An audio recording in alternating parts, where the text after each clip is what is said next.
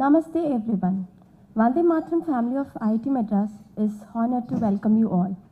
I, Archana, a student of IIT Madras, extend my special welcome to our chief guest, Sri Aravindan Neelakandan ji, and distinguished guests on behalf of my Vande Mataram family.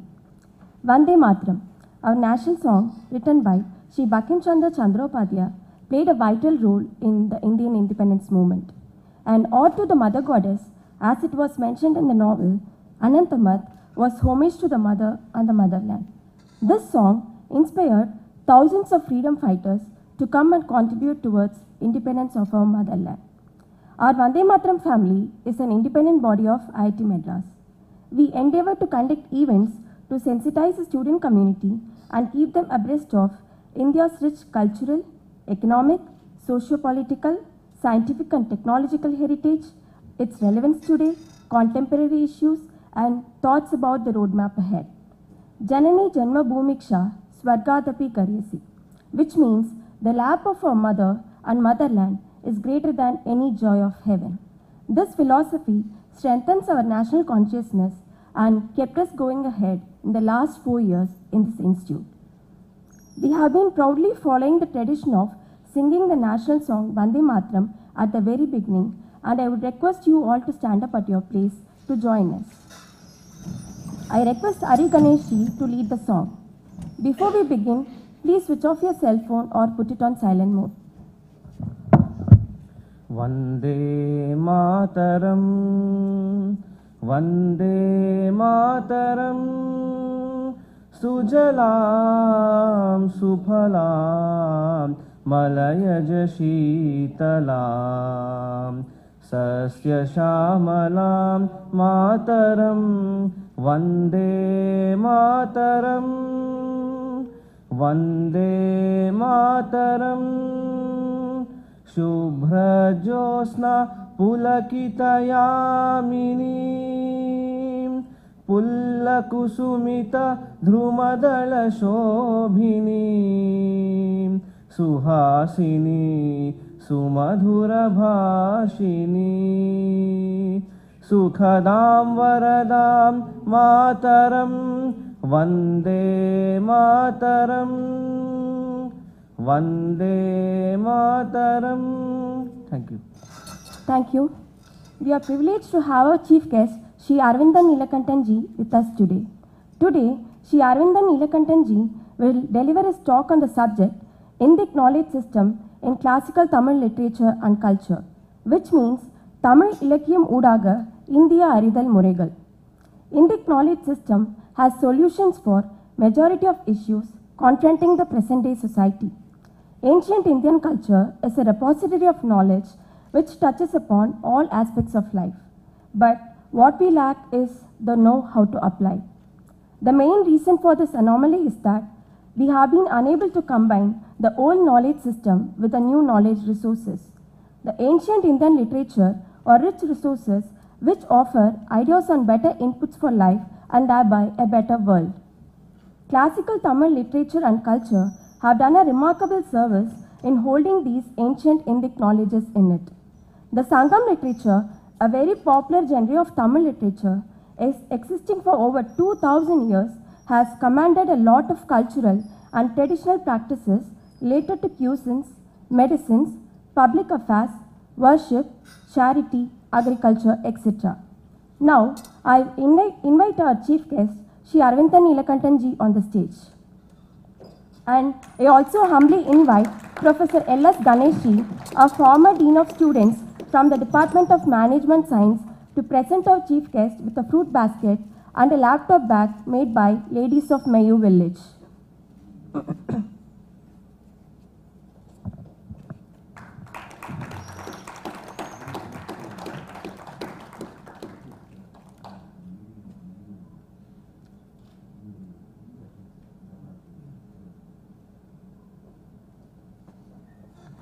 Thank you, sir.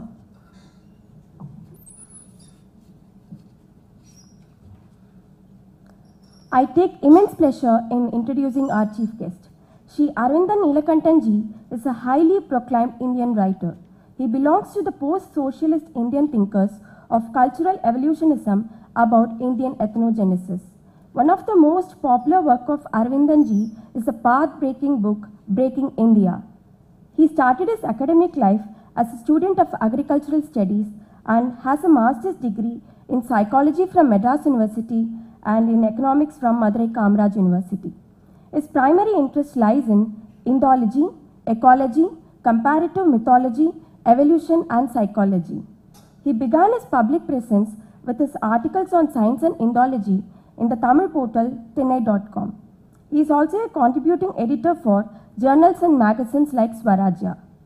Some of most popular articles on Swarajya are Subhash Chandra Bose, Support and Betrayal, How Ganesha is an integral part of Tamil culture, and Indic Frameworks for a New Future.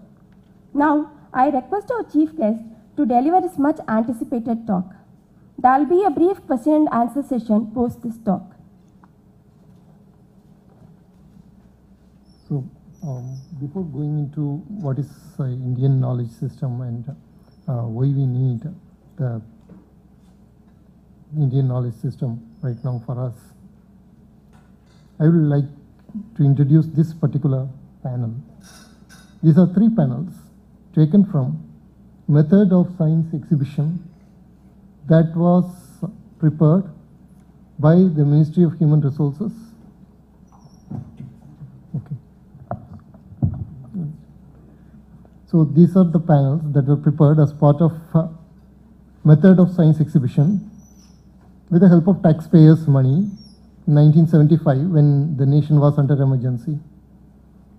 These were prepared by a set of educationists and scientists to impart to Indian people how to do science, the method of science. Here you have three panels. One is on Charles Darwin. You can read the panel. There is no mention of uh, natural selection, which is his most important contribution. And there is not even mention of uh, origin of species. Now compare the panel on Karl Marx. You find a mugshot of Karl Marx there, and you also find the cover of Das Kapital. And you can see there has also been a panel on Vladimir Ilyich Lenin. So this is essentially what was given as the framework to teach our students the method of science. Now, when we talk of a knowledge system, we always think in terms of uh, Western epistemological models. We always talk, think in terms of the Marxist models. Particularly in the case of uh, social sciences, we have only the colonial model, the Marxist model. Both share a lot of common things. Now, as against this, we need to think of an Indic knowledge system which has its roots in this land and how better it would be. There is a basic question here. Because when you have a Marxist framework, we all know what happened to science in the USSR. It became rigid.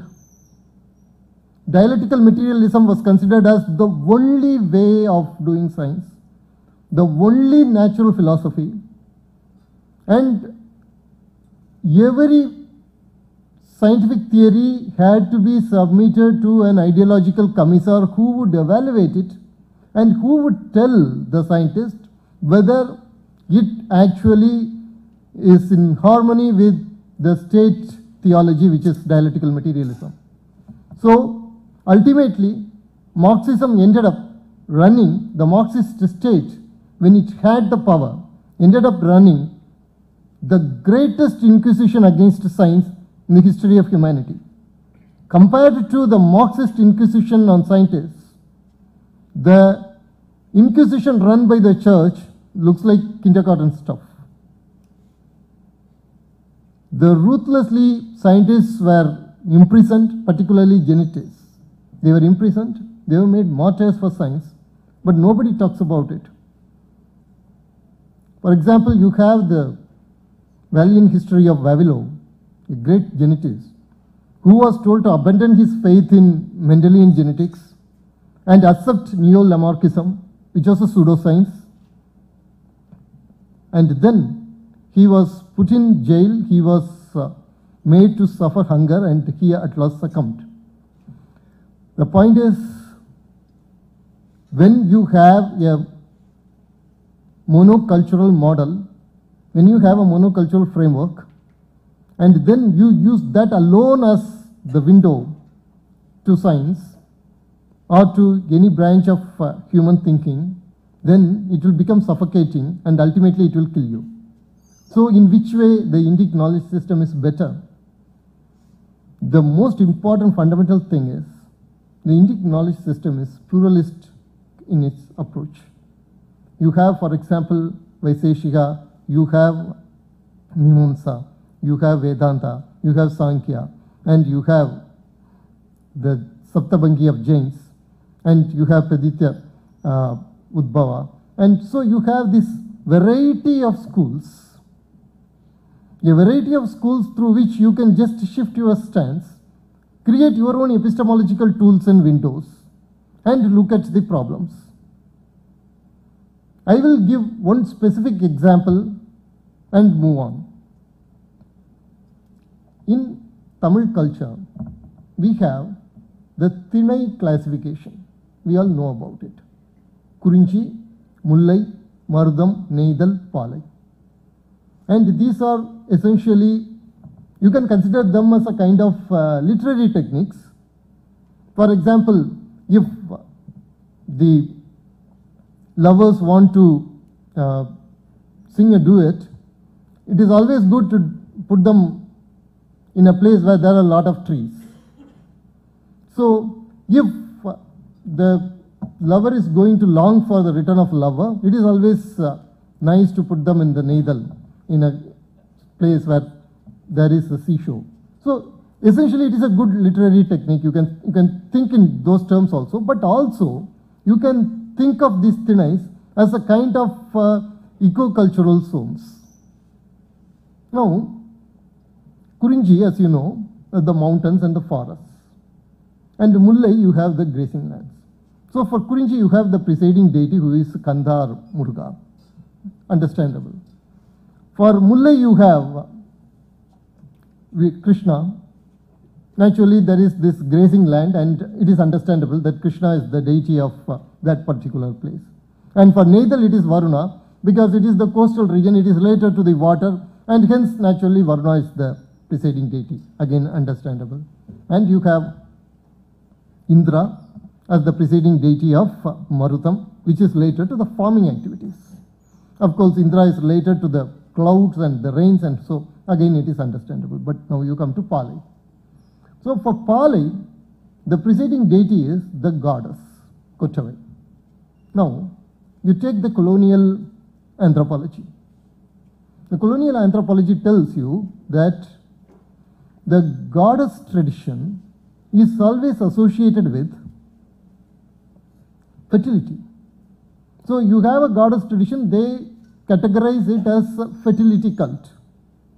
You see the same again in the case of Marxist tradition. So if you read entire D.D. Kosambi, you will, you will find that he considers the goddesses as a kind of fertility cults, fertility traditions, cult. In fact, they use the term cults, not traditions, fertility cults. But then, how do you explain the fact that it is not in Marudam the goddesses is worshipped, it is not in Kurinji the goddesses is worshipped, but it is in Palai the goddess has been made the presiding deity. This a question that we have. Where you find the colonial ontology or the Marxist framework not capable of understanding, it's not capable of answering this particular question. There is a deficiency there. So, how do we explain this?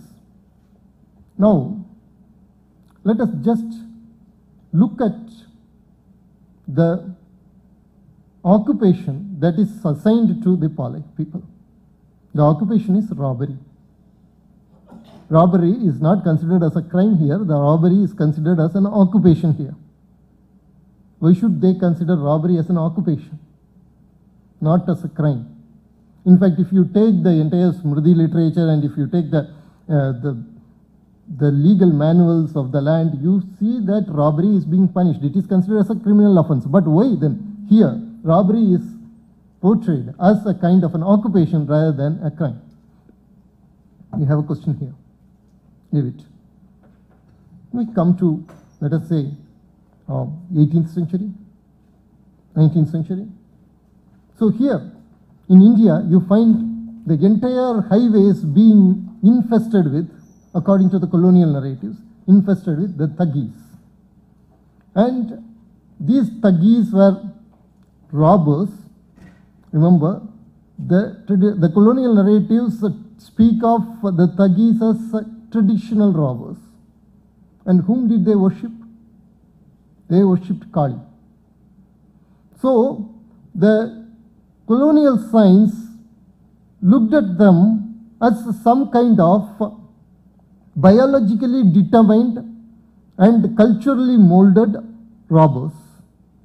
So, when the so called Thagis were captured, their heads were cut and they were sent to Edinburgh. Of course, they should have been sent to many other uh, medical schools also, but uh, right now the data we have tells that the, the heads were cut and they were sent to Edinburgh Medical School, where the phrenologists, which is now we know it is a pseudoscience, they studied the grooves in the brain and they concluded that these people were biologically criminals, that their organs for moral values had not developed. And they attributed it to two things. One is the genetic nature and the other one is the cultural environment in which they have grown. So as a child, when, as children, when they were growing in a particular cultural environment, they were not properly given the moral values. So the certain tribes and certain castes were categorized as criminal tribes and criminal castes and the parents were told they don't have the right to bring up their children because they cannot impart them proper moral values these people are biologically deficient to impart the children proper moral values so they had to be taken away into all schools hostels run by the missionary and the colonial establishments and they have to be whipped and they have to be subjected to all kind of labors and so that these moral values can be imparted to them. So this happened in india. It happened in native america also for native american tribes also it happened but it happened very much in india. And the legend of thugs became very popular across india and they, they attributed it particularly to Kali worship. Now, do we have something connecting these two? Here you have in Tamil literature a Thinai called Palai, in which people were considered as the, the chief occupation of the people was considered as robbery. And you have this concept of this phenomenon of thugs throughout India, where they were worshipping the goddess. If we want to look at the answers, again, we don't have to go into the colonial anthropology. You can very well go into the Tamil literature. In Silappadikaram, there is a very telling line that says that the Kurinchi and Mullai, when they were ravaged by ecological catastrophes or mismanagement, they become Palai. குறிஞ்சியும் முல்லையும் நடுங்கு துயரற்று முறைமையில் திரிந்து பாலை என்னும் படிமம் கொள்ளும் So here you have the answer. That is the forest lands and the grazing commons, the grazing lands, and the communities that were living in the forest lands and the grazing lands. When these communities are not properly looked upon by the state or because of the ecological problems, they resort to robbery they resort to robbery. So, robbery is actually seen as a kind of an indicator, a social indicator for a king or for the chieftain or for the particular state. That if there is robbery in a particular place, there is something wrong with the particular ecosystems. So you have to look into it. So here, robbery was not considered as the result of biological determinants or the results of cultural essentialism, as it was seen by the colonial ontology. The Indic knowledge system provided you a better framework to look at the phenomenon of robbery that is suddenly arising in a particular area. If there is a high incidence of robbery in a particular area, then there is something wrong with a particular ecosystem in that particular area. So here you see a better framework given for understanding the problem of highway robbery. But again, there is the question, why goddess?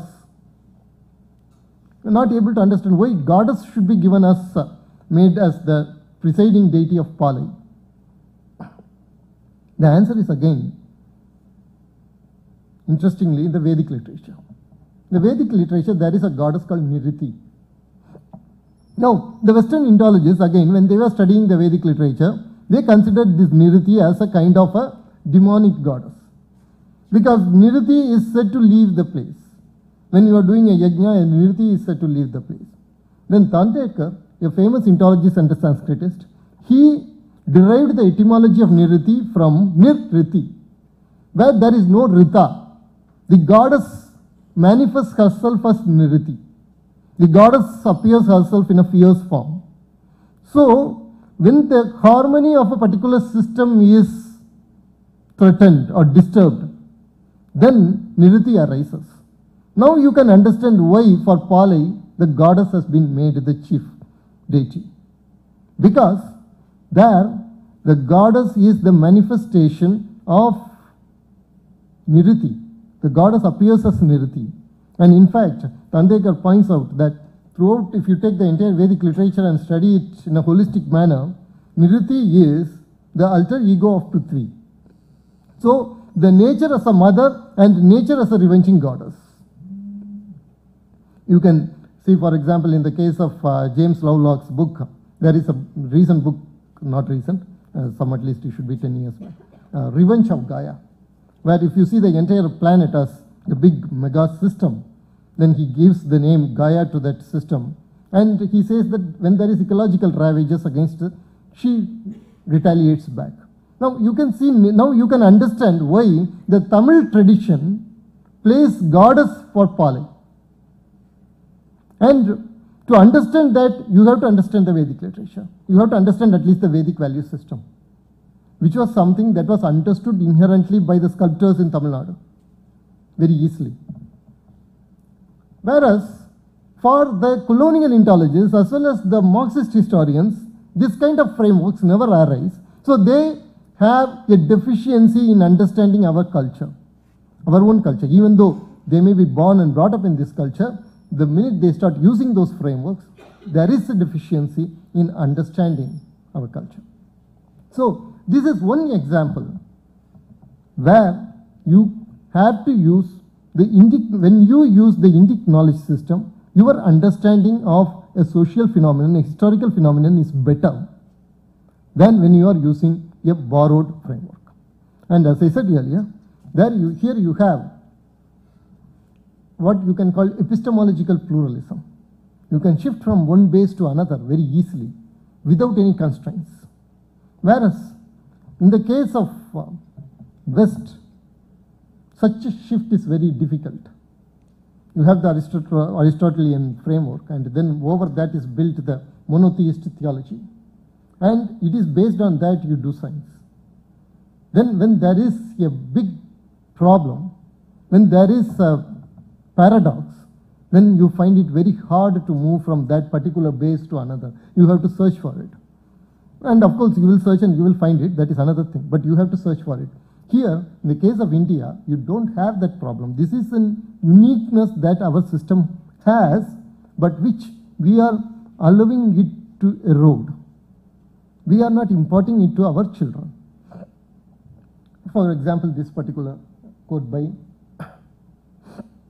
Frenkel, Edward Frenkel, who is a famous mathematician, and he is talking about quantum awareness. This is taken from the last concluding part of an article that he wrote for common people.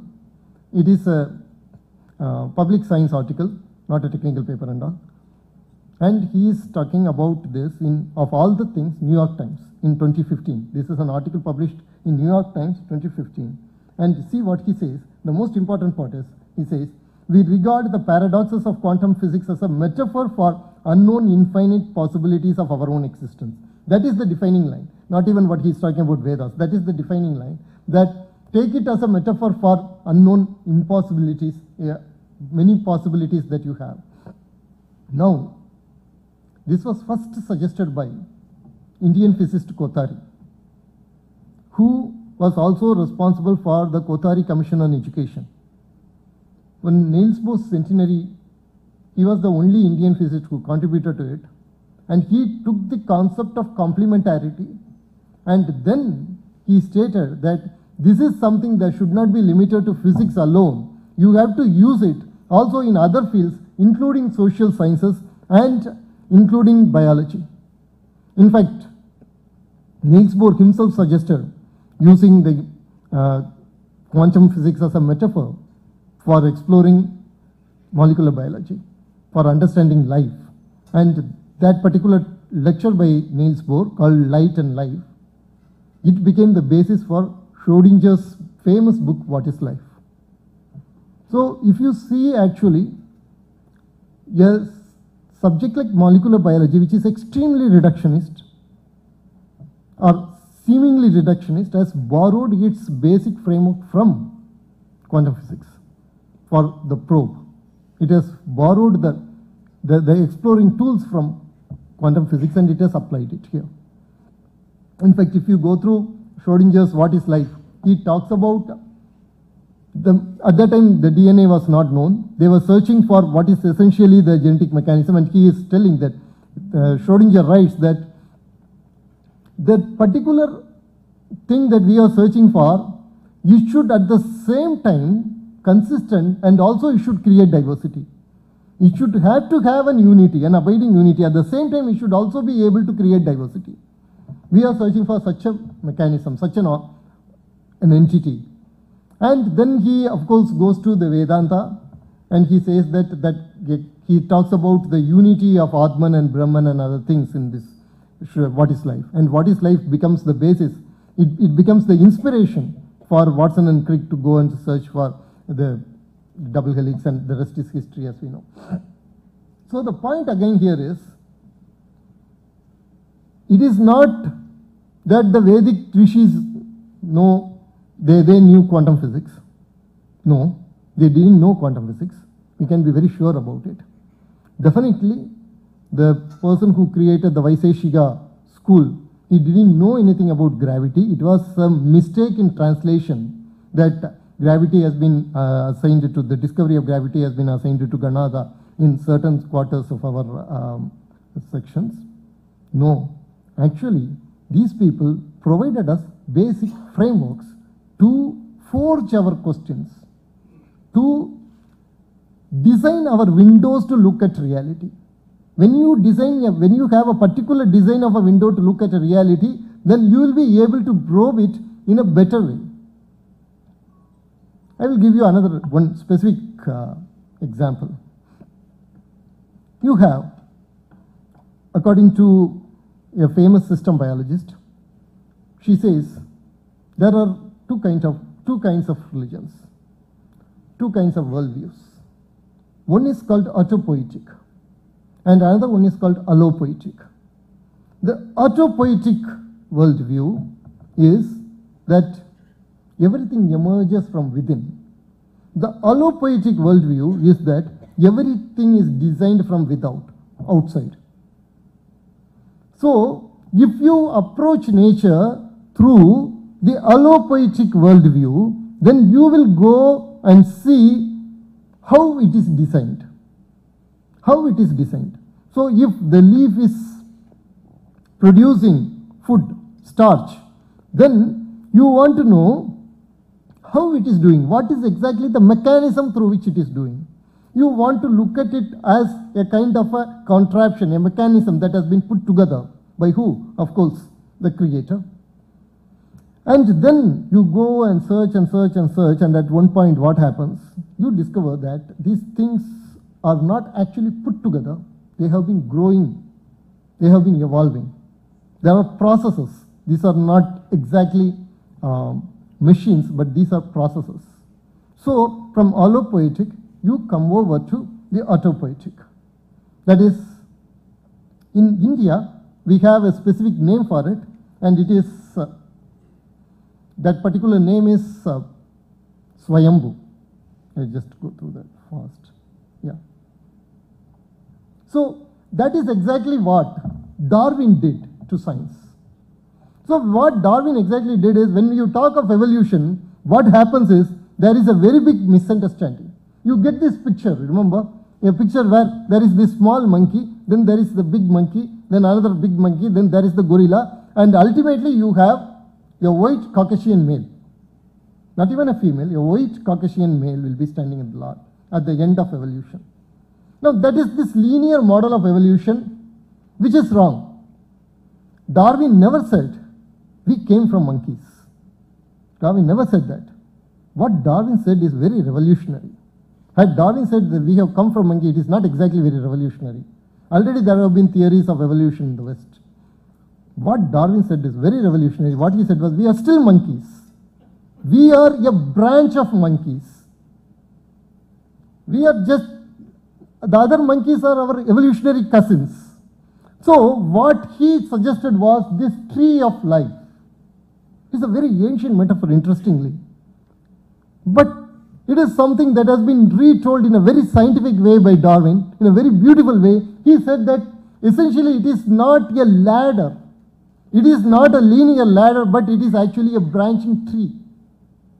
Evolution is a branching tree. So there is no such thing as if you see a tree, you cannot tell that one particular branch is superior and another particular branch is inferior.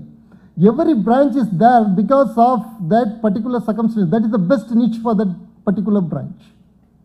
So you cannot consider an organism as superior and another organism as inferior. Every organism is the best in its own niche.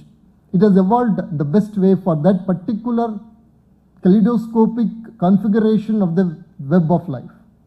So this is where Darwin was seen as an important person in history of Western science. In fact, there is no such thing as Western science and Eastern science in the history of science. And J.B.S. Haldane. Now, J.B.S. Haldane is a very interesting person because J.B.S. Haldane was number one, a polymath. He was a mathematician, he was a biologist, he was an orator, he was a writer, he was a thinker, he was a philosopher, he was a polymath. He was also a Marxist to begin with, a very staunch Marxist. And later, during the time when Soviet Union started persecuting the geneticists and the biologists, he realized that Marxism is not exactly what it was as it was marketed. He understood the folly. And in later life, he came to India.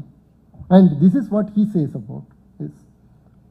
My wife has stated categorically that Darwin converted Europe to Hinduism. This is, I think, an exaggeration, but is nearer to the truth than it sounds. Hinduism is not a religion as this term is understood by adherents of uh, proselytizing religious beliefs. It is an attitude to the universe compatible with a variety of religious and philosophical beliefs. Now, this is a very important thing. It is an attitude to the universe with a lot of variety inherent in it. And again, I will emphasize this if we are not teaching this to our children, then we are depriving our children of uh, cultural literacy, making them better scientists, better artists, to understand and imbibe the spirit of science and art into them. We need to provide them this basic framework that arises from the soil of this land. But what we do, we condemn it, we tell that it is Brahminical, it is upper caste, it is uh, what all I don't know. And we, we provide a lot of labels, and all these labels, remember, were being they have been derived from the colonial ideology. And then we throw them all out. I am not denying that we do have a, we do have problems of social stagnation, very ugly problems caste, untouchability, everything. But differentiate the grain from the chaff. And provide these things, and these things can be liberating, as we will see later. But this is what um, J.B.S. Haldane said. In fact, if you if I am going to present this particular quote by Darwin from his notes, as he was preparing the origin of species, in his note he in his notes he wrote this. If I remove the term word Charles Darwin and if I have put there Isavasya Upanishad, many would have accepted that this is a quote from Isavasya Upanishad or Bhagavad Gita. The point again we, I want to stress is this that Darwin understood a very basic principle of life, which is unity in diversity. And that has formed the basis of entire Indian knowledge, Indic knowledge systems. Entire Indic knowledge system, the basis is this unity in diversity. Krishna says that in Gita, and then it has been repeated again and again and again by many, many great saints. I will give one, one very interesting example from Tamil literature. So here, we have in Tamil literature something called Pillai Tamil. Pillai Tamil is a very interesting concept. Look at the child's developmental stages in specific stages. You, you take the entire developing, development of the child and you start appreciating and enjoying each and every specific stage. For example, there is a stage when the child doesn't know what she, what she or he is talking. Just gobbled words come out of her mouth. And parents, when they hear it, they just enjoy it very much. That particular stage in which the parents interact with the child in that particular stage, it is made into a form of poetry. And then there is a stage when the child starts uh, using the hands and it starts creating the uh, sounds with the clapping of the hands and starts enjoying that. And the parents also start enjoying it. There is a stage when you put a lot of oil on the child and make it uh, sleep, putting it in this. uh, that stage the parents enjoy it, the child enjoys it. And each of this stage is made into a beautiful poetry. And then at a particular point, for the girls it is a different type of development and for the boys it is a different type of development. For the boys, for example, they say that it is a sitil sidaital. It's a very interesting thing. We have seen that in our children. You give a boy any toy, within some five or ten minutes, you find the toy being broken into pieces. Actually, the child wants to explore it, it wants to see it. And there is also in the boys, when they are growing up, there is aggression. So, this Chittil Sidaital is essentially like they go, the, at those days, the children will be playing in the soil, and uh, even 80s, 70s kids would have known that. You will be uh, building small, small things in the soil, small uh, temple or a cave like thing and thing. Then some boys will come and they will kick it out. Completely, they will destroy it. They take a pleasure in kicking and destroying it. So, that stage. So, the same time for the girls, it is something called ammaning, in which they throw the pebbles and they catch it and they play. At that time, they sing songs. So, all these have been formed into literature. It is a kind of a liter- again a literary technique in which you praise a particular deity. You consider the deity as a child, and then you consider yourself. The poet considers himself as the parent, puts himself in the place of the parent, and looks at the deity and praises the deity through all these different stages. Just imagine, this is a literary technique. Again, it's a literary technique, but there has been not a single study that I know that has compared this with Jean Piaget.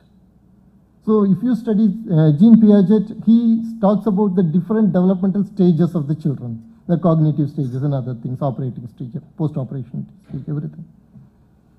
I'm not saying there is going to be one-to-one mapping, but this seems to be a better framework because when Piaget looks at child, he looks at as an individual entity. He thinks only in terms of the a kind of a sanitized environment operating with the child, not the parent, not the this thing, the stimuli from the environment, operating with the interacting with the child and how the child interacts to it. And then he looks at the child growing step by step. In fact, he observed his own grandchildren and he started writing this, and it is considered as a very important uh, framework in psychology. But I always think that Pillai Tamil literature, if you take it out of the literary thing, and if you apply it, if some psychologist seriously starts working on this, it will yield a lot of good results because here it takes into consideration how the parents feel with the development of the child. What changes the parents also realize when the child grows, what they enjoy, what they see.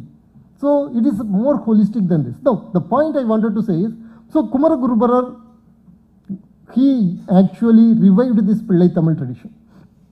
And so he wrote a Pillai Tamil for the goddess Meenakshi. And he comes to all the stages and then he comes to this uh, Ammani stage where she plays with the pebble. Now the pebble is uh, very crystal like, so it goes up. When it goes up, it crosses her, it goes and falls, and when it falls, it comes right before her eyes. When it comes before her eyes, her eyes are very black. So this black eye makes the the black eye makes that particular crystal ball look black like a black pearl. So the people when they see that at that particular moment, they say that it is a black pearl. But then it moves down and this is a small child. So she is laughing at it comes and when it reflects her Uh, teeth, it looks like a white pearl. So the people who look at it at that time, they tell that it is a white pearl. But then she catches it in her hand. Her hand is very red. So it looks like a ruby. So when the people look at it at that time, they say that it is ruby. Then he says, it is like persons belonging to different religions and different systems of philosophy saying that only their stand is right.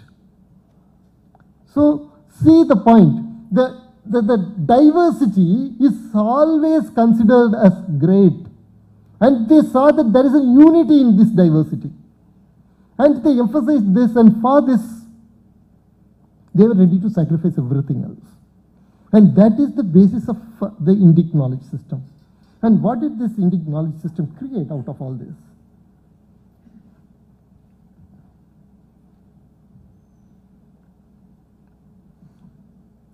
So, when everybody, when everyone talks about Jagdish Chandra Bose, if you ask a person what the what, what was it that Jagdish Chandra Bose discovered, then they say that uh, Jagdish Chandra Bose discovered that the plants had life or plants have feelings and things like that.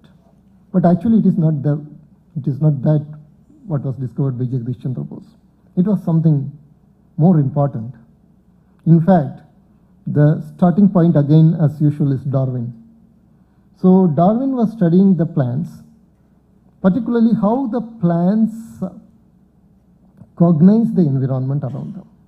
And then he suggested that the plant root tips may behave like the neurons. If you have seen the Avatar movie, you would have seen that the, the roots and all communicate and it creates a big kind of uh, network. So it is called the root brain hypothesis. It was first proposed by Charles Darwin. Charles Darwin's son was uh, Francis Darwin, who was actually a botanist. And Darwin also had another one basic concept, which is that if you are having a finished product, for example, our eyes, then it should have, if you look at the entire uh, evolutionary web, you will be able to see all the stages of that. You will be able to see the corresponding things in everything. Like, for example, a light sensitive receptor in a particular small organism, a neuron that responds to light in a particular organism. So, you should be having a continuity. He suggested this. And when he suggested this, he said, he specifically talked about uh, plants like Venus flytrap and Mimosa pudica, the touch me not plant, where the electrical activities are very visible. And he said, if such visible electrical activities are there, there should be electrical activity in plants for the stimuli, for the irritants. It should be able to react. So you should be able to find it out. He wrote to a famous biologist of his time, botanist of his time. But that person was not able to find any electrical activity in most of the plants. What J.C. Bose did was he discovered the electrical activity in plants without a nervous system. The plants were able to exhibit electrical activity when they were irritated, when they were given stimulus. He was able to demonstrate that. And science of his time was not ready to understand it. They thought that he was talking some, some kind of vitalism. But he was not talking vitalism. He was talking about a unity that cuts across the animal life and plant life, the mechanical life and the biological life as a whole. In fact, he specifically mentions that in this particular talk of his. He said that the last he says, that I understand for the first time a little of the message proclaimed by my ancestors on the banks of the Ganges 30 centuries ago. They who see but one in all the changing manifoldness of this universe. Unto them belongs eternal truth, unto none else, unto none else. Now, what does this has to do with, again, the Tamil literature? Now, remember this. Here, he is talking about the cognition in plants. And there is a wonderful work by uh, two Chilean biologists, Francisco Varela and uh, Humberto Maturana. You can remember these names and you can Google them and you can get the book. And it is a wonderful book. And he, they say that cognition is the basis of life at a very cellular level. Cognition is the basis of life. Now if you take Tolkappiyam, Tolkappiyam has a way of dividing, of classifying life forms. And what is it that makes it uh, the basis of this classification? Now remember again, the classification itself may be outdated, it, it may not be scientific. The, the, the way in which he has classified, for example, he says there are living organisms with the one ability for cognition, or arrival, ear arrival, moon arrival. So, if you see the entire classification in Aristotelian philosophy or everywhere else, cognition has not been made the basis of classification. Tolkappiyar makes cognition the basis of classification. And this again relates to Upanishad where it says Pratibodha Viditam, which says, which means every pulsation of cognition is essentially a manifestation of consciousness itself. I think it is, power is gone or something. It's no problem. So, so here again you see that we have a knowledge system that can provide us frameworks not only to do science but also to experience science. Now, why was it that the entire Western world was not able to understand that particular aspect hinted by Charles Darwin? But today, if you see new scientist or scientific American, just go and Google about plant intelligence. I am not talking about the pseudoscience about uh, plant intelligence that has been written by people like Peter Tompkin called The Secret Lives of Plants. I am not talking about that. I am talking about serious science stuff. You will be able to find that from uh, Tel Aviv to uh, MIT, there has been a lot of work that has been done on plant cognition, and they all say it starts with J.C. Bose. J.C. Bose was essentially far more advanced than his time. Why he was able to do that is because his framework was that of Vedanta. From that he started. And he was able to understand that across the diversities, there is a basic unity. Now, this is very important again in social sciences. Why I am saying it is important in social sciences is because now you take our society, there is a division. There is tribal and non-tribal. From where did this division arise? And you have this term called Adivasi. See the term Adivasi. So what, does, what exactly it means? Aborigine. Certain communities are Adivasis, but what about the remaining communities? The Indic term was Vanavasi. Now, what is the difference between a Vanavasi and Adivasi? When you say Adivasi, you essentially mean that only certain groups belong to the, can be seen as the sons of the soil. The others are outsiders. So, this is not something that has to do with the Indo-European people coming inside or outside. I'm not entering into those at all. Right now, if you go to my, my place, then there are certain communities will tell, we alone belong to this place, you people are outsiders. This is happening again and again in each and every place. So what happened, for example, in a country like India, when this is taken very seriously, in Assam, 50 Bihar migrant workers were killed because they were seen as outsiders. We are the sons of the soil, they are the outsiders. So, this kind of frameworks based on linguistics and ethnic differences come from the colonial knowledge system, which sees these communities as distinct categories. Tribals are distinct categories, non tribals are distinct categories. But is it true? Of course, that is what Thurston said to us, that is what Risley said to us. Herbert Risley discovered the nasal index. He studied the nasal index of Indian people. He invented even a law saying that if your nasal index is uh, high, then your uh, rank in the social status is 1. So it is inversely proportional. If you have a sharp nose, then your nasal index is 1. Your varna is 1. If as your nose sharpness decreases, your varna status decreases. So now you have the variance, right? Now you have people telling that the thickness of the dosa and the this are directly or inversely proportional. So you have this. Now this we have internalized. This is because we have internalized all this. Now remember, from Darwin to J.C. Bose to Kumaraguruvara to Tolkappiyar, we don't see these as categories. We see them as continuum. There is a difference between seeing the things as categories and continuum. So I will give the example of Ilango Adigal. Now, whenever I give this uh, talk, I give this specific example of Ilango Adigal. Ilango Adigal describes the tribals worshipping the goddess. Tribals worshipping the goddess. And Silappadikaram was written some 1300 to 1400 years ago. In the thickness of the South Indian forest, as Kannagan and Kann- Kannagi and Kovalan are going inside, they are seeing the tribals worshipping the goddess. And how they worship, Ilangovadigal describes it. So the goddess is wearing the skin of uh, elephant over her.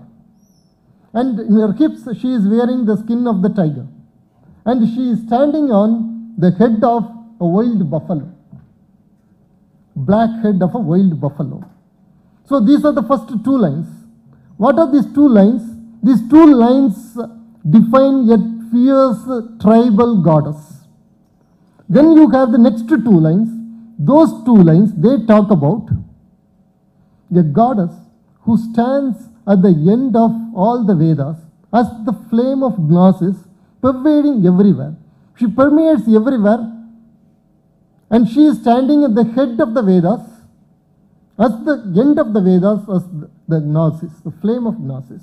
ஆனை தோல் போர்த்து புலியின் உரியுடுத்து காணத் தெருமை கருந்தலை மேல் நின்றாயால் வானோர் வணங்க மறைமேல் மறையாகி ஞான கொழுந்தாய் நடுக்கின்றியே நின்றாய் that's are the lines now if we are to give these lines to our uh, colonial ontologist or a marxist historian or our dosa specialist they would say that the first two lines talk about the dravidian goddess the next two lines talk about the brahminical goddess but what is the context in which Ilango Vadigal places it?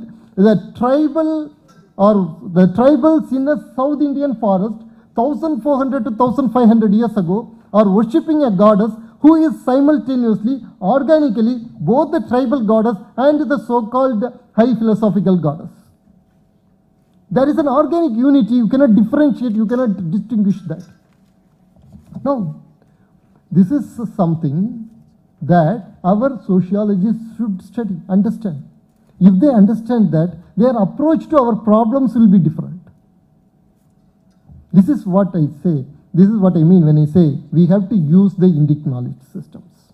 Whether it is the physical sciences, whether it is the biological or psychological sciences, or whether it is the social sciences. More importantly, in the social and the psychological sciences, we have to use these traditional knowledge systems. We use it, then we will be able to create better artists, better scientists, better human beings who can understand and empathize with the humanity. Rather than create divisions, they will be able to build bridges.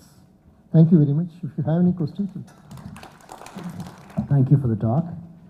I was just wondering, most of the illustrations that you brought today um, seem to say that, see, this is what you have already found out with the Western concepts, but all this is already there in you know some of the things that we have, uh, which is almost like uh, you know what you already found is what we what we already have kind of a thing, isn't it? Uh, it how helpful is that going forward? Uh, why don't we look at what we have and come up with something that does not exist today in, in terms of a theory. Now that we know that we have a wealth and treasure, why don't we come up with something that does not exist, that hasn't been found out, hasn't been studied, hasn't been theorized? Uh, that would be helpful, is what I thought. What is your comment? This is exactly the fallacy I wanted to avoid. So I said very specifically, our ancestors did not know quantum mechanics. Our ancestors did not know evolution. This is the natural selection through which this particular thing happens. If you look at the, whether the, for example, the birds came from dinosaurs, did uh, Vyasa know about it? No. Okay. And uh, Tolkappir, definitely he did not know about plant cognition as such as we understand it today. But the point I want to stress is they have given us a framework which is even today relevant. And if we use that framework, we will be able to do better science. I will give you two examples. When one I have already given, that of Jagadish Chandra Bose. Okay, the Western botanists were not able to understand what Darwin said, what Darwin hinted at. But Jagadish Chandra Bose was able to demonstrate. And again, when Jagadish Chandra Bose demonstrated it, he, it was rejected. And it had to wait for more than 20 to 30 years for the science to rediscover what Jagadish Chandra Bose has done and say that no, it was not vitalism. Remember this. They saw what Jagadish Chandra Bose did through the framework of the binary of vitalism versus materialism. They were not able to see it as a kind of a process psychology, process philosophy. When it became prominent, they were able to understand it. That is one example. Another example I will give you is the way George Sudarshan has been, who, who died recently, he had been able to do science. So he again had a Vedantic framework, with the help of which he discovered, I mean, not I would say with the help of which, inspired by Vedanta, he enters into physics. He sees the entire physics as a pursuit to understand the divine. Okay. And this is a very interesting, very important thing. To he, in fact, when, when he was discussing about this, he introduces a very important term that is that we should introduce in our um, education curriculum. We have been given the term scientific temper, which was actually used by Bertrand Russell, coined by Bertrand Russell, but now it has been attributed by the dynastic cultists to Jawaharlal Nehru. That is a different thing. But the scientific temper is the term that we have. But George Sudarshan uses a very interesting term called the psychology of scientific discovery. So this psychology of scientific discovery, the moment in which you discover anything, you feel something that unites you with the entire cosmos. If you just, if you are able to give the children that spark through your curriculum, that will work wonders. That is what George Sudarshan does. And he himself was a living example for that. Okay. So will, these two examples would suffice, I think, to demonstrate that we are not talking about everything were already there in our books. We are not saying that. Not, as, not in a single place I have said that. It is not there in our books. That is what I specifically said. Our ancestors did not know all these things. But they have given us profound frameworks and they have given us multiple windows to look at reality. And these windows we have to use. That is what I said. I hope it answers your question. Uh, Namaste, sir. Here, here. Yeah. yeah. Uh, so uh, when you Sorry, sorry. Uh, what you're saying is right. I'm sorry. Um, but the point I was trying to make is, can we, with uh, because nobody in the world is going to do Indic studies or in, uh, the way we want it to happen. So my point is, going forward, can we take some of the problems that are there today, for instance, uh, let's say um, marrying uh, gravity and uh, Uh, you know the, the, the, some of the problems that you have in quantum physics, for instance. Can we focus our Indic studies to go into what we have to find out if answers to some of those problems may be there in, in, in what we have already?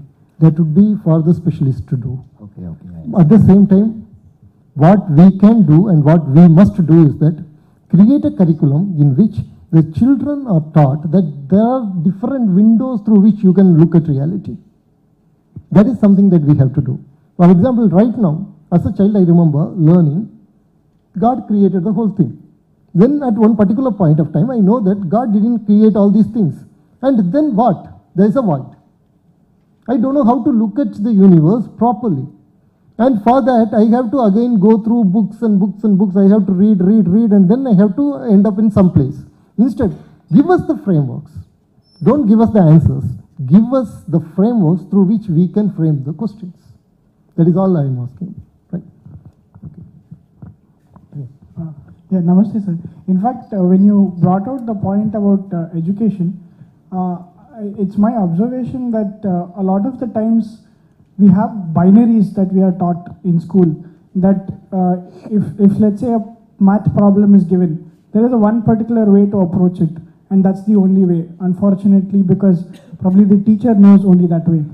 Uh, but sometimes when we end up uh, you know taking different paths to the same answer we probably should you know we should get the same answer uh, there is a sense of uh, you know like deleting away some of those answers saying okay no no no you should you know take the same path to get this particular answer because the person on the other side may not understand it so how do you think we should create this uh, system of you know probably uh, quantum uh, having not having binaries in the system itself Well, I would say that we start teaching our children first to accept diversity.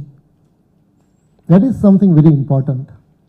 And there are there have been traditional ways in which you have been made to accept diversity.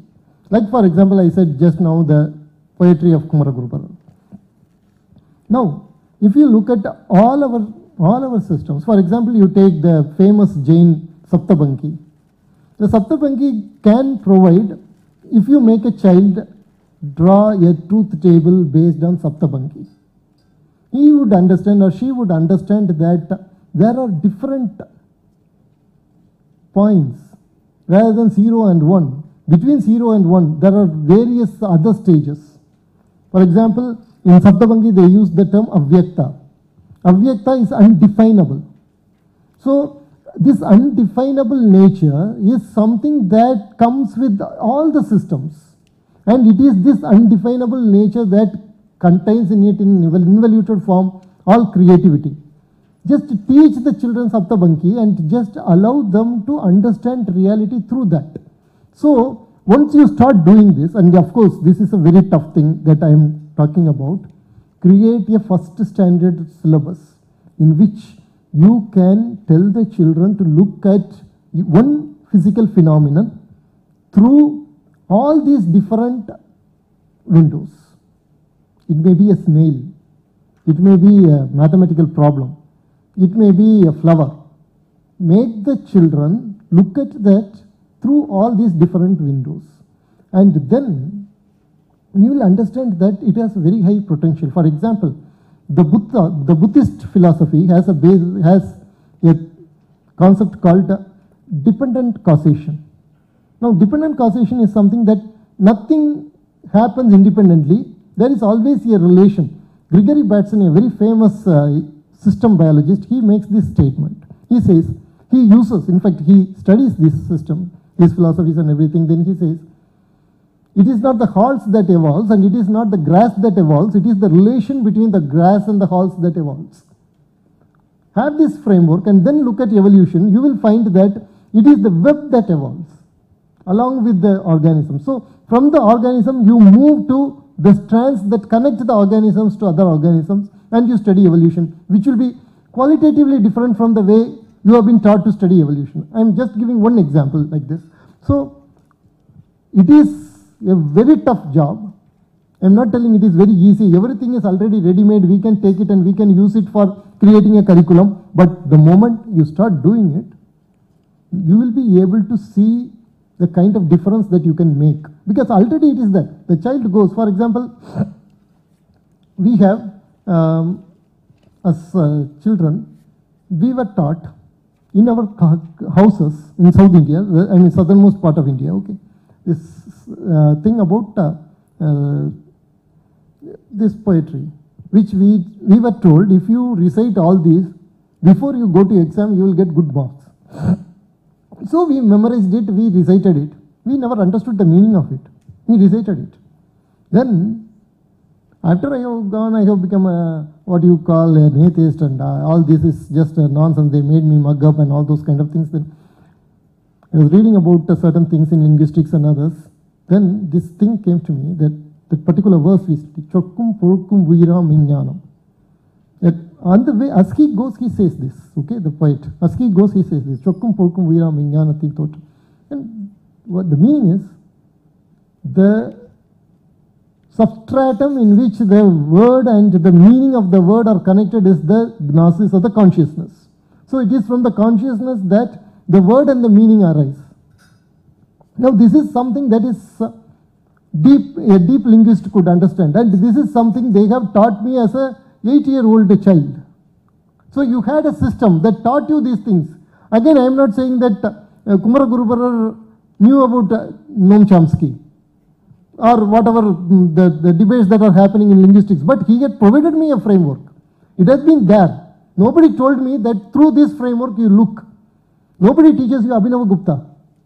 See, Abhinav Gupta talks about Sahridaya, a literary concept. In the literary concept, what he, what he says is Sahridaya is the, the author writes a poetry or an epic, and the person reads it, he becomes a Sahridaya when he gets this, when he gets into the same frequency as the author intended in this particular literature. Now, just think this is a kind of a proto understanding of mirror neuron concept. Abhinav Gupta didn't know about neurons, Abhinav Gupta didn't know about mirror neurons, but if you know Abhinav Gupta, you will be able to understand the concept of mirror neurons better. So, this is something that the treasure chest is there. You have to take it and you have to work on it intelligently. And as he said, it is not we knew everything already. I personally believe Sahib Nayak and Nityananda are the worst tragedies that can happen to any religion. So the point is, it is not that. It is something more profound, something that requires our work, our intelligent hard work to update our system to the present knowledge and challenges.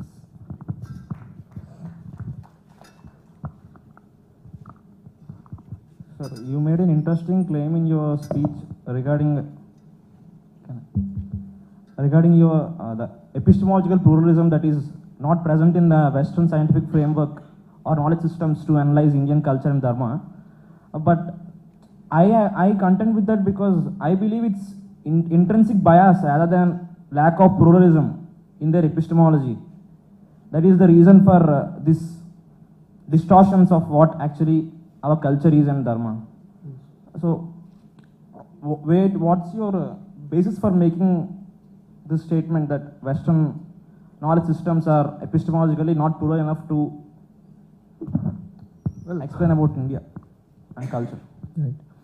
Um, I have to here make a small uh, CE, BCE like classification before new physics and after new physics. Okay, before new physics, definitely there has been this uh, strangulation of uh, this monocultural, rigorous monolithic system with Aristotelian basis, Christian theology. And if you are moving out of it, there will be consequences. After the Enlightenment period, that consequences were not there, but criticisms were there. Whereas, after the new physics came, for example, there is this famous statement by um, Albert Einstein that he finds the foundation under his feet moving away. That is the statement he made about new physics. A person like Albert Einstein. That is how most of the scientists found themselves. They were searching for framework. I will give a one, one specific example for this. Werner Heisenberg. who discovered the uncertainty principle. He had done the basic frameworks. But the worldview that came out of it was kind of unacceptable for him. He was not able to put it forth in paper and submit it. He had a psychological block because he has come in a culture in which everything is certainty, everything is clear binary, everything is clear categories. So what he did was he took a sabbatical. He came to Shantiniketan. This is uh, not something that I am making up. It is given in the interview by Werner Heisenberg himself to Fritjof Capra. It is part of the book called Uncommon Wisdom. You can just, you can get it very easily. And I will tell you uh, the extension of this. So what happened was, uh, like, he came here, he lived with Tagore for some time. He spent time, he observed Indian culture, and he understood that there can be cultures which don't care about this kind of certainties, this kind of fixed rigidities. Then he went back and he published his paper. This he says in the interview. Now what happened is, what happens is, then I, I, I won't say the name, a famous politician somehow understands this in his own way and he says that Werner Heisen, Heisenberg's uncertainty principle is based on Upanishads.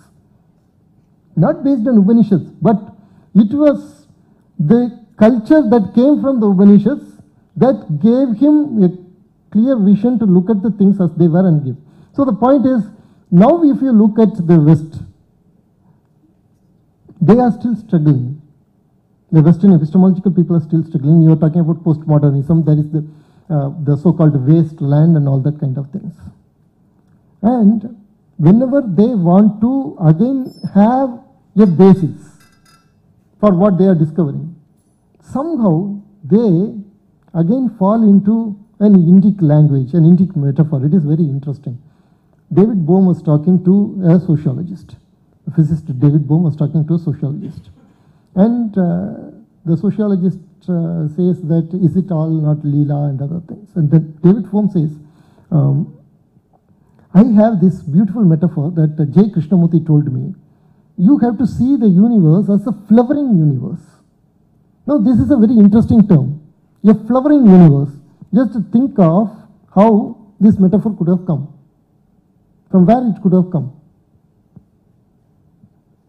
If you know Abhirami Andadi, which is chanted by almost every housewife in uh, South India, in Tamil Nadu, of course, not the, I mean, English educated and all, just ordinary housewives, this village women, superstitious, they chant, they say, ஆத்தாளை எங்கள் அபிராம வல்லியை அண்டமெல்லாம் பூத்தாளை you can understand the word அண்டமெல்லாம் பூத்தாளை she flowers into the universes an ordinary housewife saying her evening prayer a statement that inspires through J. Krishnamurti, a famous quantum physicist. All I ask is, why not you allow this thing to be taught to the children? They can, they don't have to believe the goddess. They don't have to take any of the uh, belief system into them, but they can take the wonder. Look at the universe in a different way. So the point again I want to stress is, you have a pluralism here. You can move from Sankhya to Vedanta, from Vedanta you can jump to uh, Saptabhangi, from there you can jump to Satkaryavada. There you cannot do that. From the Aristotelian logic you jump, you don't know where you are going to jump. Of course there is Spinoza and other things. But again, they have not created a big system out of Spinoza. Spinoza is there, yes. Alfred North Whitehead is there, yes. But you don't have a concrete system. You, you haven't created metaphors and uh, beautiful uh, art and sculptures and Puranas out of it, into which becomes part of your life.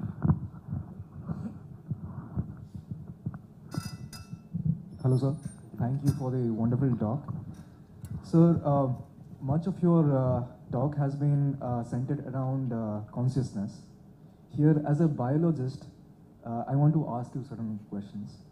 So, the kind of science that is established today and the kind of science that we do is based on very hard evidence. The kind of reproducible evidence that both you and I can reproduce if we do the same kind of experiment. We will get the same result and which we can publish. Right? So the whole world will know.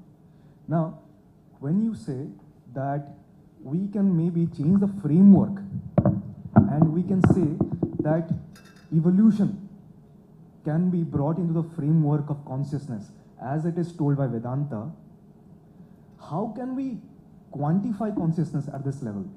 How can I say that the consciousness of a bacteria is very different than mine? Because here again, I want to bring another point. The kind of consciousness that Americans or the Western scientists think about is very different than the consciousness that Vedanta and what we are discussing. I think this year or last year, Harvard scientists have actually like published a paper where they have actually like found out a neuron which they claim is responsible for consciousness. So their idea of consciousness is very tangible. It is a neuron. Our idea of consciousness is very different. It is experiential. So how can I quantify that experience? How can I quantify the experience of a bacteria? How can I quantify a experience of a living being like me? And how can I put it into a framework of evolution that the Vedanta talks about? And how can I publish a paper by doing an experiment on it so that the whole world will know? Right. And actually, he is asking a question about which I am right now writing an article. And uh, it will be like giving away the whole thing, but it's okay. Some three weeks back, there was an interesting article in Scientific American. Okay.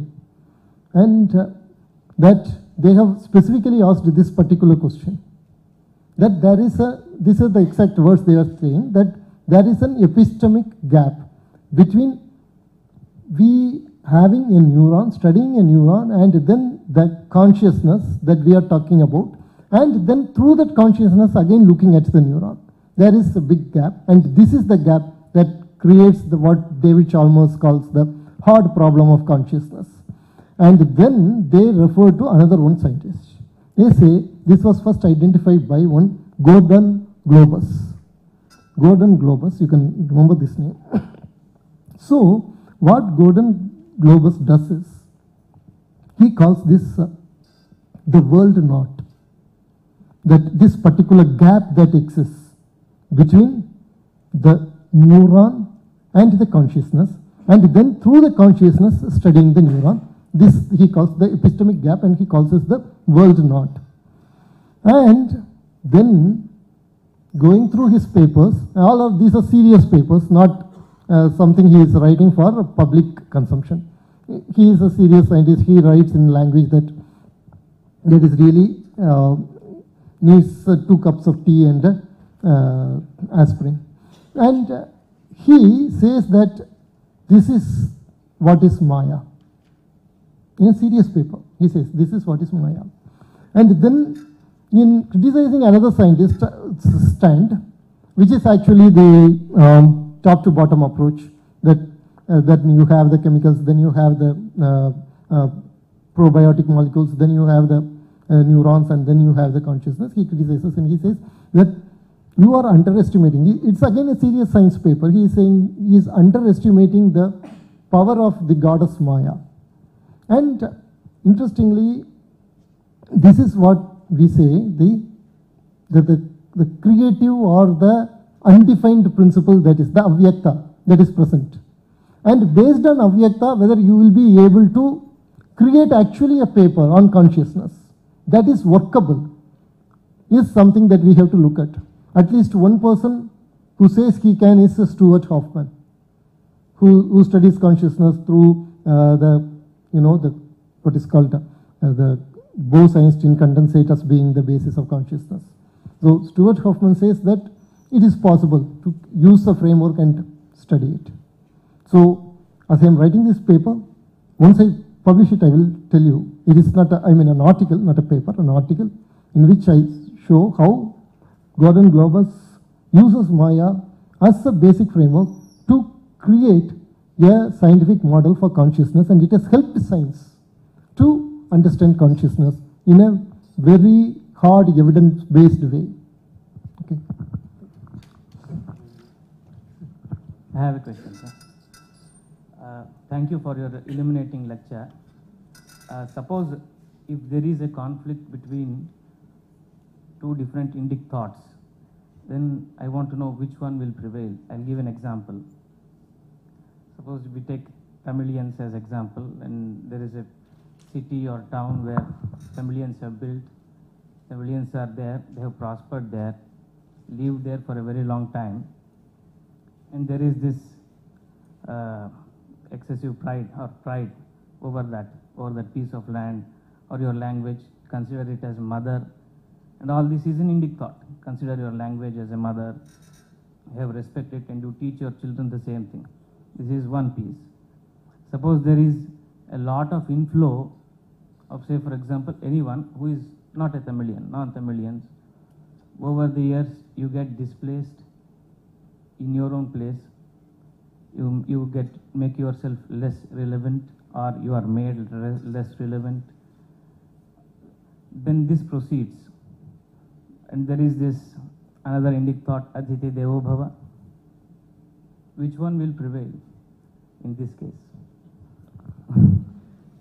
See, um, I will take this as another example. I will give another one thing for this. Krishnadeva Raya was a Kannadiga or Telugu person. Telugu person and right. We don't know, right? It is still debatable. And he chooses Andal, a Tamil poetess life to write an epic on. Okay? The point is, you have an example of a Vijayanagar empire where there has been multilingual people living without losing their identity, but at the same time with no enmity. Down the line, you see Tamil Nadu, you see Karnataka, you see Karnataka, Kalburgi, the late Kalburgi wrote, the, it is because of Krishna Deva Raya you today find a lot of Tamils in Bangalore. He wrote in a very contemptuous manner. So he is very angry. The great rationalist was angry that you find a lot of uh, Tamils in Bangalore and it was the crime of Krishna Deva Raya. And in Tamil Nadu, you have the Tamil chauvinists who say that it is all, you give them anything, they will say it is Vadga conspiracy.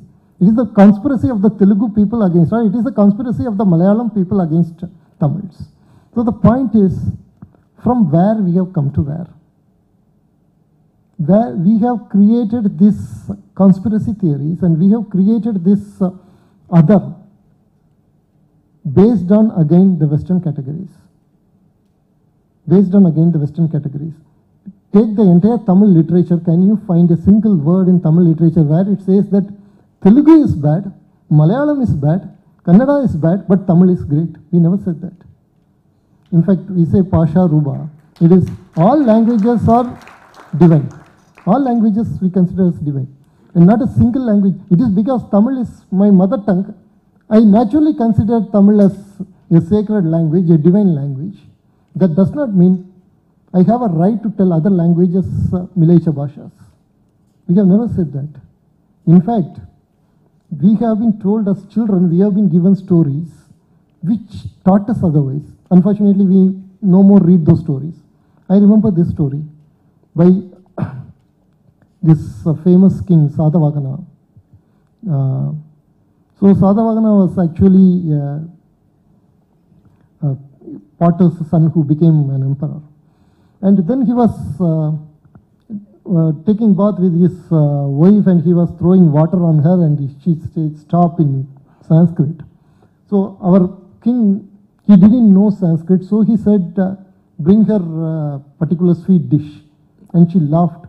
Then he felt very bad. He wanted to learn Sanskrit and he told in the court, I want to learn Sanskrit.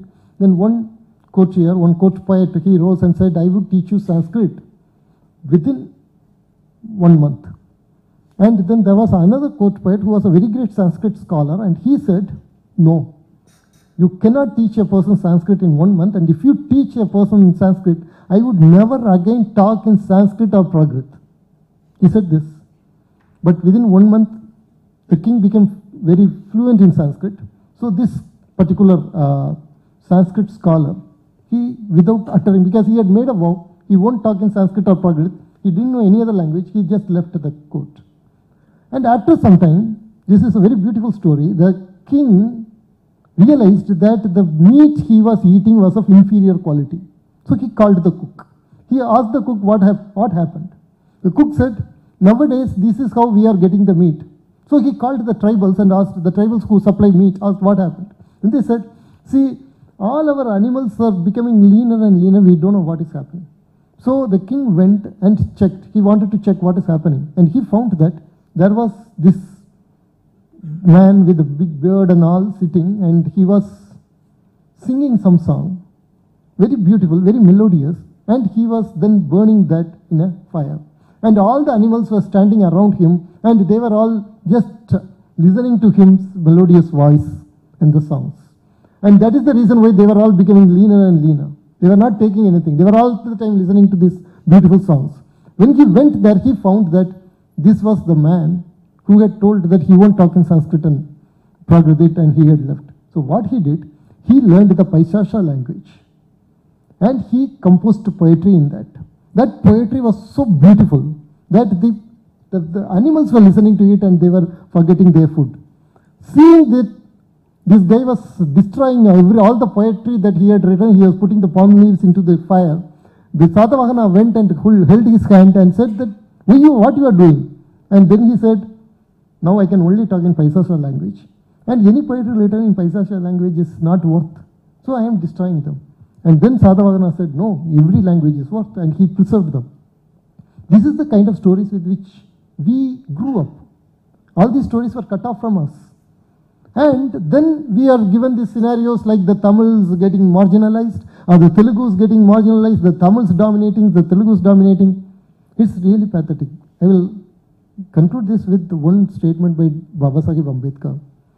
In fact, I consider Bodhisattva Ambedkar as one of the pinnacles of uh, Indian culture. And he said, talking about linguistic state, in 1956 he attained parinirvana. In 1955 he wrote his book on uh, linguistic states. And he said, it is not one language, it is not one state for one language. It is one language for one state when, when you are creating the linguistic uh, divisions, he said, it is not one language, it is not one state for one language. That is, it is, the Tamil Nadu is not created for Tamils alone. In Tamil Nadu, Tamil is the administrative language. It is this one language for this state. It is not the state for the language. We have to take that into consideration and we have to operate. That, I think, is one of the important aspects of Indic wisdom that Baba Sahib Ambedkar said.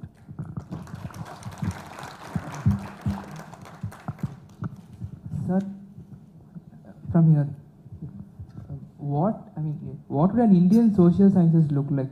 What are the resources and thinkers we can draw upon, and how, in what way would it explain India better than colonial Indology? Um, definitely he would not look like Romila Thapar.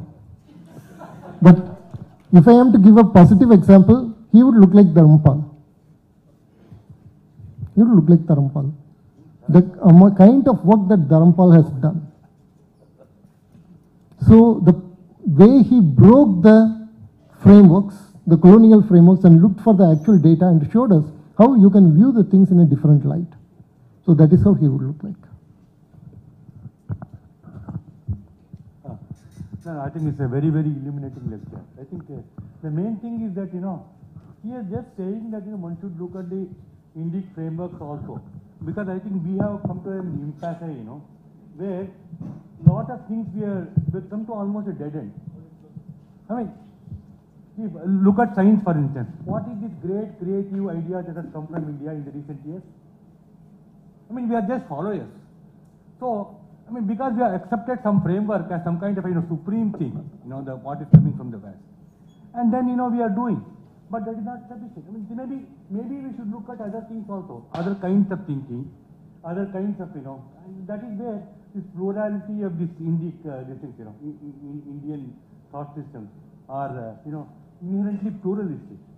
So that kind of a thing will be useful. That's all we saying to say. And that should be represented in your schools and colleges and all that. That, that should be taught. The other thing also, you know, that is very, this thing to say, you know, everything here, you know, nowadays, everything is to be in conflict with other. Dravidian versus non-Dravidian, Aryan versus uh, Dravidian, and you know, Dalit versus non-Dalit. I mean, is it the only way to look at things? I mean, as if, you know, the Vedic uh, thought process and, you know, the, uh, uh, the local, uh, uh, the, like, you know, greats like uh, and others were very, totally different people. But totally different kind of things. You know, they were in conflict. Recently, I heard a lecture by one Professor Nagaswamy, a noted archaeologist. Okay, he, he said that you know, look, he quoted verses to show that many of these verses in Tirukural, it could be traced to Manusmriti. I mean, if I say that you know in a Dravidian crowd, it will be sacrilege. I mean, there are some, I mean, it's not always that things there may be some conflicts, you know, nobody denies that there will be conflicts within the education, but it's not only conflict. I mean, there are some very, you know, uh, many systems of thought which are living together. And maybe at some time something is prominent. You know, I think that is the message I got from uh, a very, very, very good lecture by Professor Aravindan Neelakandan. Uh, Arvind, thank you very much. It's the second time I'm hearing you. Uh, way back you had come, there was a good talk. Uh, I just wanted to take off from where Dr. Sriram had made a point.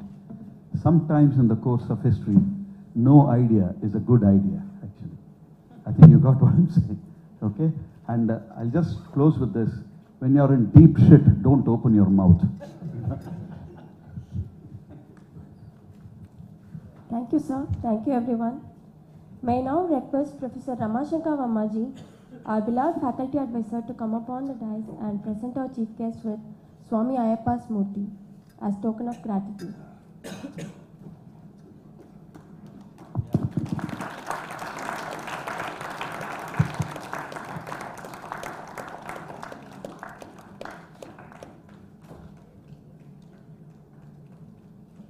You, sir. Yeah. Thank you, Arvindji, for such a illuminating lecture.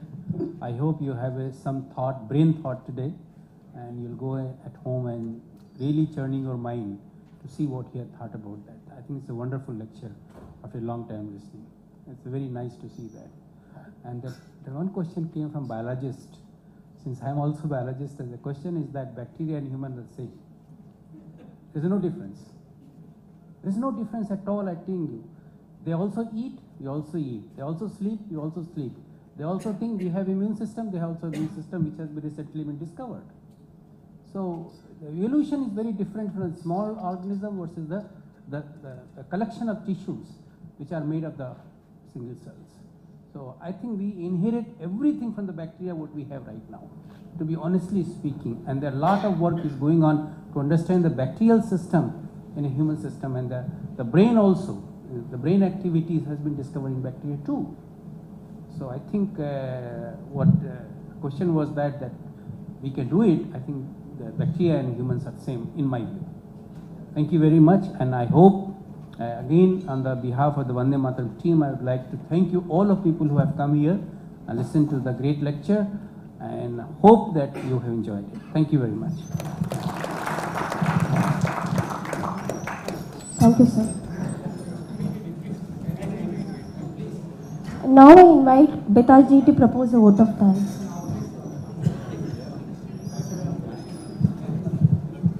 Namaste everyone. We are immensely blessed to have Sri Arvind Neelakandan ji as our chief guest. This talk has been a great source of learning and experience for us. We express our gratitude to you, sir, for sharing your valuable experience and time with us. We also thank our faculties, alumni members, students, technical experts for the lights, sound and videography. We embarked on this journey four years back on the 118th birthday, birth anniversary of Netaji Subhash Chandra Bose and we remain equally committed even today. We pray for your love and support. We will keep serving. Jai Hind, Vande Mataram. Thanks, Betalji. Now I invite Ariganeshji once again for the national anthem.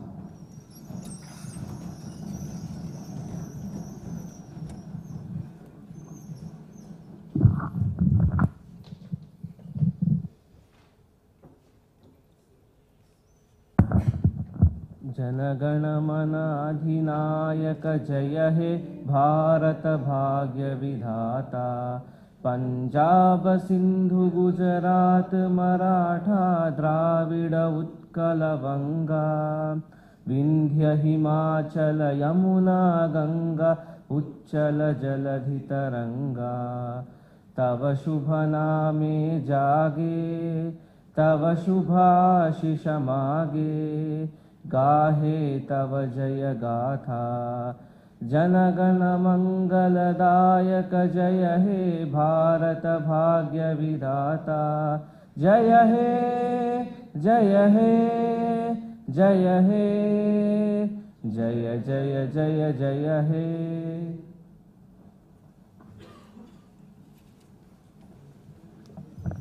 We heartily thank you all for your patience. It has been a great pleasure and we hope to see you all again at our next event.